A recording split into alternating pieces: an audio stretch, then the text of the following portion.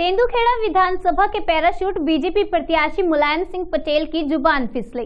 Ticket वितरण के एक दो दिन पहले ही कांग्रेस से बीजेपी में आए मुलायम सिंह पटेल, जो विधानसभा तेंदुखेड़ा से बीजेपी के प्रत्याशी हैं।